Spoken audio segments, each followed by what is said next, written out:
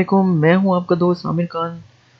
आज मैं आपके लिए वीडियो लाया हूँ राउटिंग इंफॉर्मेशन प्रोटोकॉल की जिसे हम रिप भी कहते हैं और इसके साथ साथ मैं आपको रिप वर्जन वन और रिप वर्जन टू का डिफरेंस भी, भी बताऊँगा इस वीडियो में। तो चलें शुरू करते हैं बिस्मिल्लाह।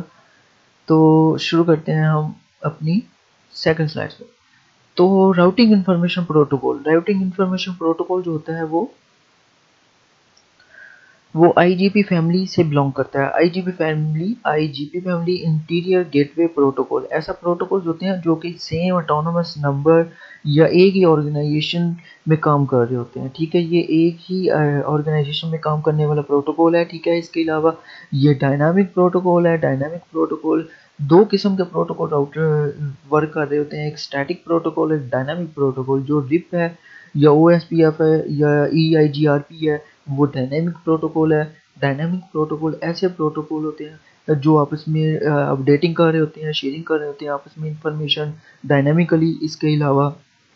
जिनमें एडमिनिस्ट्रेटिव वर्क जो होता है, वो बहुत कम हो जाता है और इसके अलावा इनको यूज़ करना बहुत आसान है। इसको, इसके अलावा डायनेमिक प्रोटोकॉल में there is no need to know the network destination ठीक है?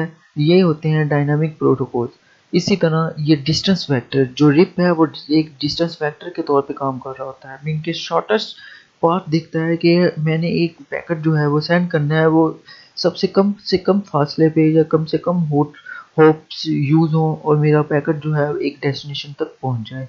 तो इसमें कम से कम जो जो होप काउंट्स होते हैं, वो 15 तक होते हैं। इसके ज़ीरो से 14 या 15 तक टोटल होते हैं। होप काउंट्स होप हैं।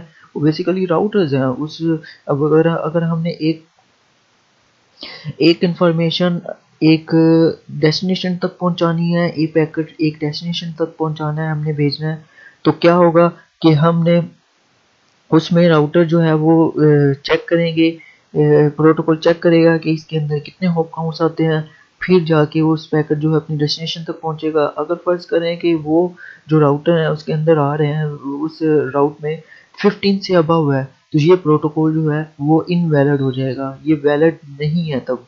इसके अलावा ये, इसका एडी एडी साइज़ जो है एडमिनिस्ट्रेटिव जो साइज़ है, वो 120 तक होता है। अगर फ़र्ज़ करें कि ये अगर आपके आपके आपके नेटवर्क में एक E I G R P भी प्रोटोकॉल चल रहा है और रिप भी चल रहा है।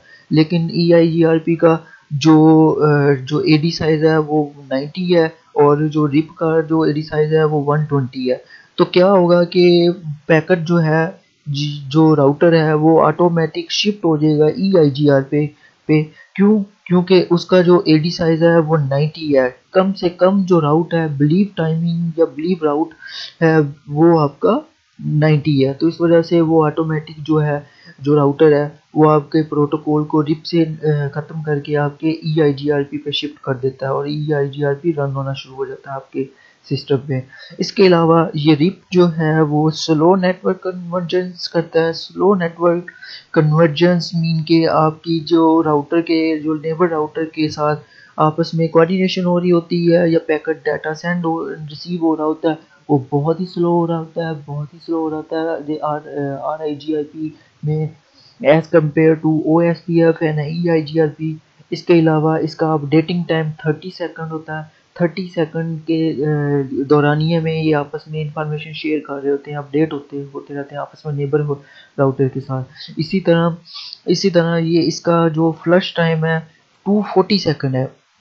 फ्लश जैसा कि नाम से भी ज़ाहिर हो रहा है कि अगर तो एक इंफॉर्मेशन दूसरे राउट राउटर तक 240 सेकंड तक ना जाए तो जो राउटर होता है, वो अपने टेबल से राउटिंग टेबल से इसकी इंफॉर्मेशन फ्लश कर देता है, ख़त्म कर देता है। ठीक है? एक एक और टाइमर होता है, जिसे हम कहते हैं, जिसे हम कहते हैं इनवैलिड टाइम वो 180 सेकंड होता है, ठीक है? ठीक है दोस्तों, वो 180 सेकंड होता है।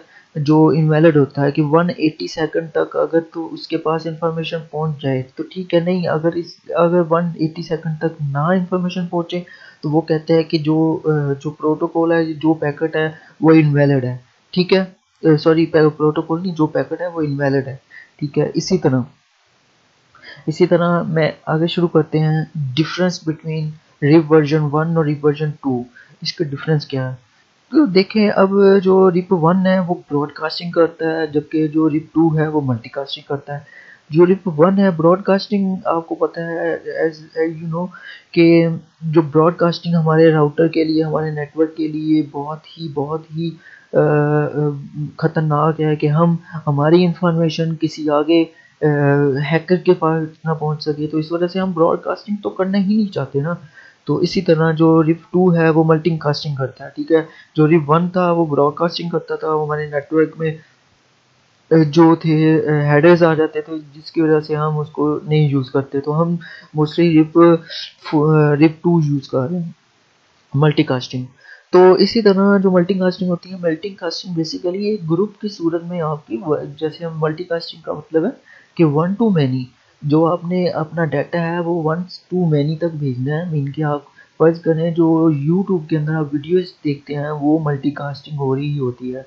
मीन कि आप एक ग्रुप जो वीडियोस होती हैं यूट्यूब की, वो एक ग्रुप की सूरत में शो हो रही होती हैं। ग्रुप में ग्रुप की सूरत में चल रही होती हैं। जैसे ही आप उस टाइप करते हैं अपनी वीडियो तो हम ये देखना चाहते हैं, वो वीडियो क्या करती है, आपको उस ग्रुप में ऐड कर देती है तो वीडियो आप आप उसके साथ साथ उसी ग्रुप में बैठ जाते हैं और वीडियो आपकी चलती रहती है, वो होती है मल्टी कास्टिंग ठीक है?